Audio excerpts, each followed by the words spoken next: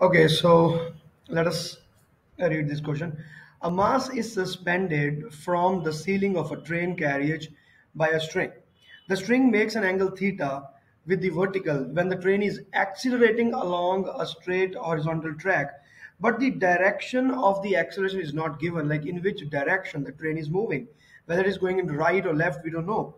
But because the object is moving backside, so it obviously means that your train is getting accelerated in the forward direction. Now, these things we generally observe while we travel. That if, um, let us say, we are sitting in a bus and the bus starts moving, we are we pushed back. So, if this body is being pushed back, it means there is an acceleration of the train in the forward direction. Okay, fine. So, this is the concept uh, from the topic uh, pseudo force. So first of all, let me tell you what is pseudo force. I don't know whether you have completed this topic in your sc- school or not. So that is why. Let us have a little bit of introduction of that. Pseudo force means a force which actually does not, uh, which actually does not exist, which is not present there, but the effect of force is there.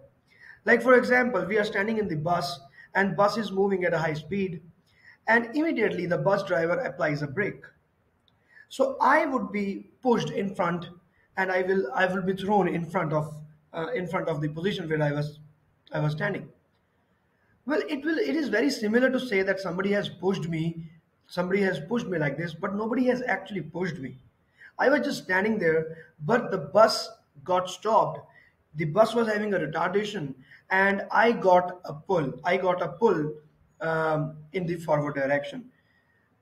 So effect of the force is there, but the actual force is not there. So this is the thing that is known as pseudo force. Now the characteristic of pseudo force is if your vehicle or your car or your train is traveling at an acceleration of a, there will be a force named pseudo force acting on the body in the opposite direction and the formula will be F is equal to m into a where m is the mass of the body and a is the acceleration of the train. These two things are different. See, m is the mass of body, a is the acceleration of the train. So this is the pseudo force ma that is acting in backward direction. Along with that, it is being acted upon by weight, which is mg. And there is a third force, which is shown like this. And the third force is the tension in the string. So tension is basically the amount with which we have pulled the string like this.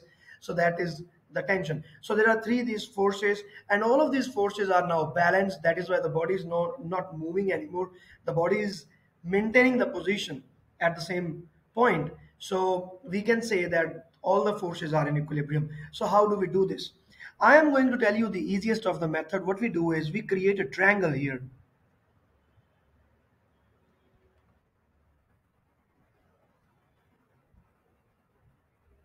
Like this. Like this. So if this is a triangle, the horizontal force is MA, so we will take this as MA. Vertical will be taken as MG and the hypotenuse will be taken as T. And this angle is given as theta. So now what we want is, we want to find A. So we can apply our trigonometric ratio that is tan theta is equal to MA by MG. A is equal to G tan theta.